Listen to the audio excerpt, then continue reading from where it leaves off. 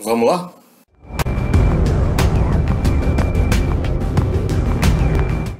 Uma das características mais interessantes desta nova safra de autores pós-Lovecraftianos é a capacidade que eles têm de contextualizar o horror Lovecraftiano em outras épocas. É, a maioria delas, dessas histórias estão se passando na nossa época, mas algumas têm um pequeno deslocamento no tempo que faz toda a diferença. Hoje eu estou falando aqui desse livro Lovecraft Country, do Matt Ruff. Esse livro foi uma gratíssima surpresa para mim. É, pela, pela rápida, rápido, é, rápida sinopse do livro que a gente lê às vezes nos sites, deu a entender que era uma espécie de road book, né, de road novel, que é uma coisa que pouca gente sabe fazer direito. E eu fiquei preocupado, fiquei um pouco assim na dúvida de se li ou não. Eu não conheço Matt Ruff, é o primeiro livro que eu estou lendo dele. E tô até quebrando um pouco aqui essa diretriz no sentido de que eu ainda não terminei de ler o livro, mas eu tô tão empolgado que eu não resisti gravar esse programa logo na frente de até de alguns outros que eu já tinha lido e passar para vocês. A, a história se passa no final da década de 1950 e os personagens são todos negros.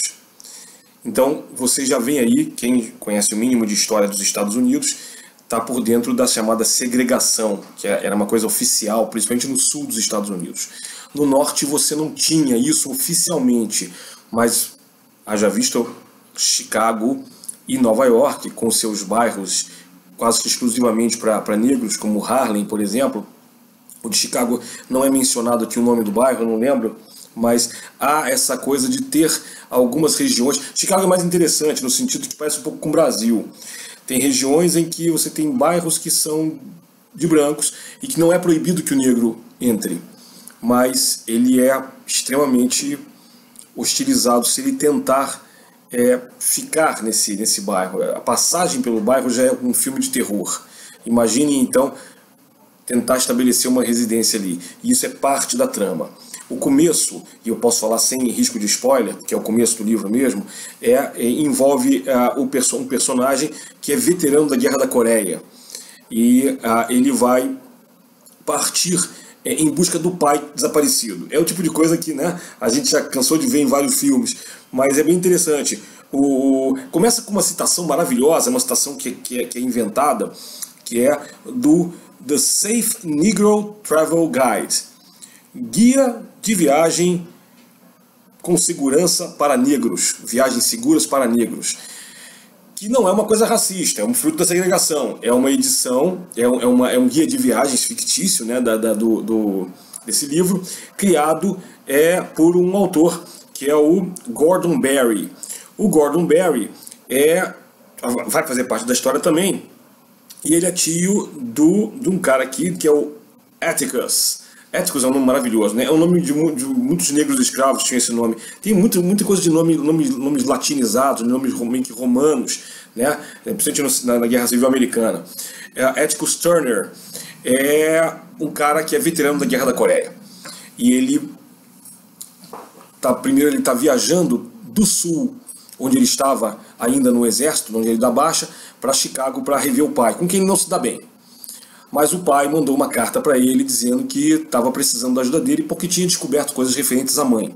A mãe do Atticus já tinha morrido há alguns anos e ah, eles não, não se davam nada bem.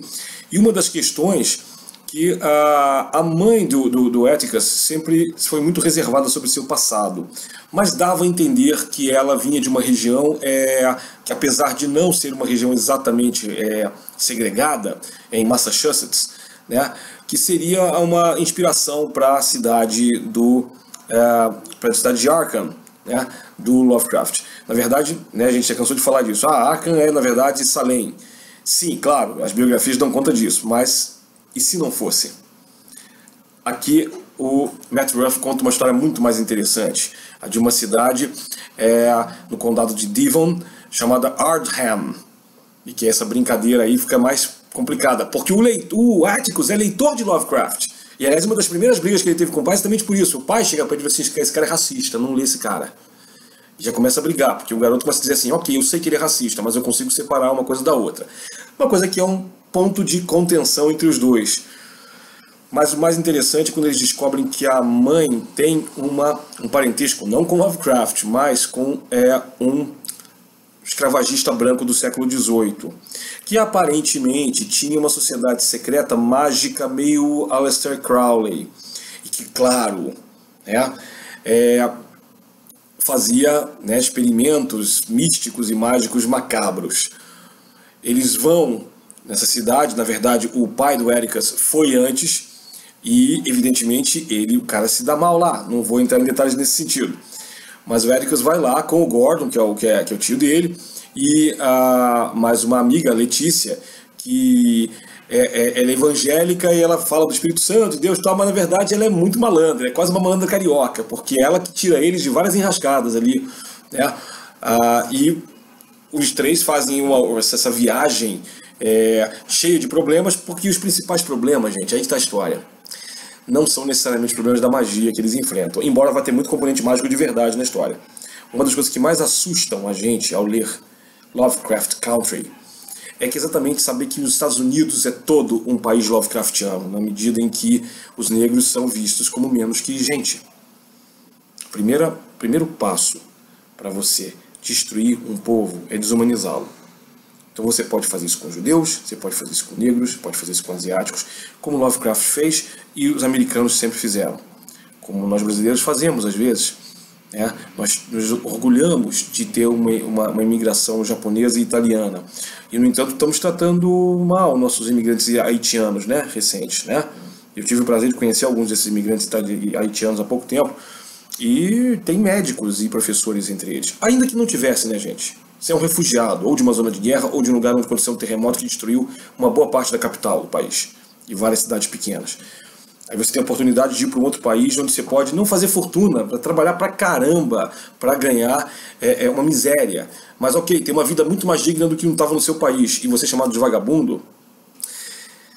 Essa mentalidade Lovecraftiana, vamos dizer assim, tem acometido a nós todos, principalmente nos últimos tempos. Né? Nós estamos vivendo uma situação que, independente da política partidária dos nossos países, vocês estão vendo isso na Inglaterra, nos Estados Unidos, no Brasil, em vários, na França, talvez um pouquinho também agora, tem eleições aí em breve. É, eu estou falando isso aqui em abril de 2017, e a Marie Le Pen, que é uma é, é assumidamente fascista, está com chances de chegar ao poder, o que já aconteceu já outra vez no passado. Então, né, é, a gente pode dizer que a gente está vivendo num país Lovecraftiano, uma mentalidade Lovecraftiana em vários países do mundo. Isso devia ser comentário de fechamento, mas vamos em frente com a, com a resenha. Né?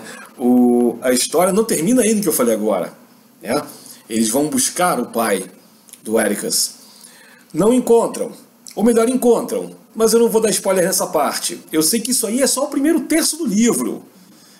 Depois eles retornam a Chicago. E ao retornar a Chicago, a vida aparentemente volta a andar, a andar normal.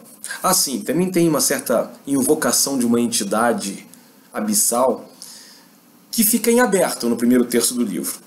Não se sabe se foi um sonho ou, foi um, ou não foi um sonho, mas essa entidade não chegou a ser invocada, ou se foi invocada, não faz nada com nossos heróis, nossos protagonistas. Mas aí chega o segundo terço do livro e eles recebem, né, a Letícia recebe a, do pai dela, que era jogador inveterado e, e conseguiu ter credores e não, né, ter, ter devedores e não credores. O cara morreu, mas ele conseguiu ter gente que devesse dinheiro para ele. E aí um cara, em vez de dar dinheiro para Letícia, resolve doar a casa, que é ficar num terreno branco. Isso já é complicado pra caramba. Mas não bastasse isso, a casa é realmente assombrada. E as cenas que envolvem as assombrações Esqueçam esses filmes atuais e bobos de susto, scary movies. Estou falando de filmes como The Haunting, do Robert Wise, ou A Casa da Noite Eterna, do Richard Madison, que são filmes de casa assombrada em que você nunca vê assombração, você só vê os efeitos que a assombração provoca. E é uma coisa até hoje aterrorizante. The Haunting é da década de 50 e Casa da Noite Eterna é de 72, se não me engano. Fica a dica desses filmes também para vocês. Não são filmes Lovecraftianos, mas o horror que eles provocam é vamos dizer que ele é quase indizível porque ele é invisível. E esse livro também tem muito isso, né? Essas aparições elas nunca são, nunca são mostradas totalmente. Isso que é interessante, é também brincar um pouco com o estilo Lovecraftiano ao colocar criaturas indizíveis e invisíveis. Como eu estava falando no meio deste, desse vídeo, acho que o mais bacana do Lovecraft Country é mostrar como realmente uh, você pode pegar uma história Lovecraftiana de raiz, bacana, e jogar no meio da, dos Estados Unidos segregado. E você consegue misturar as coisas e não faz, isso não, não ser depreciativo para nenhuma das partes. É é a prova, se alguém precisava de alguma prova disso, Lovecraft Country é a prova de que você pode escrever uma excelente história Lovecraftiana, subvertendo todas as características básicas de uma história da HP Lovecraft e ainda assim ser uma tremenda história que ainda consegue homenagear esse autor de certa forma. Eu espero que vocês tenham gostado e até o próximo programa.